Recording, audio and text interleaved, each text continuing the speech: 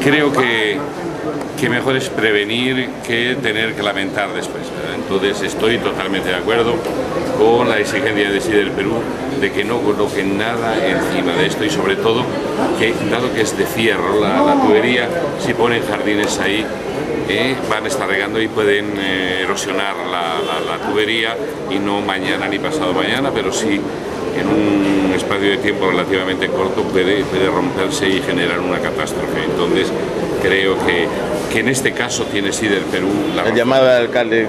yo lo llamo a la, a la reflexión y a la, a la cordura, ¿verdad?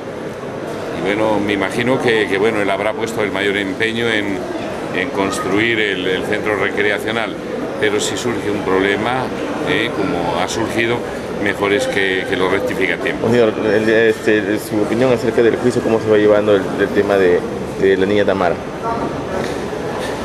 Yo creo que se va a esclarecer la verdad, ¿verdad? Pero bueno, eh, los abogados siempre intentarán defender a, a sus clientes, ¿verdad? Y entonces son los que pueden generar la impresión eh, que, que, bueno, que el Poder Judicial está favoreciendo, que la policía eh, está favoreciendo a algunos de los cómplices. Yo creo que se hará... Será al juez, a los familiares. El día de hoy he estado con los papás de, de- de la niña en una misa aquí en el Colegio Santa Rosa.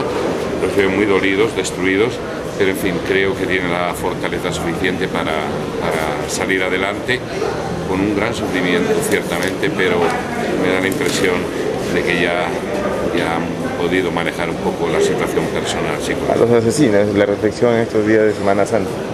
Nada que sean días profundamente religiosos, ¿verdad? Que no los aprovechemos para divertirnos, sino sencillamente para acompañar a Jesucristo en su pasión, en su muerte y al mismo tiempo para experimentar el gozo de la resurrección.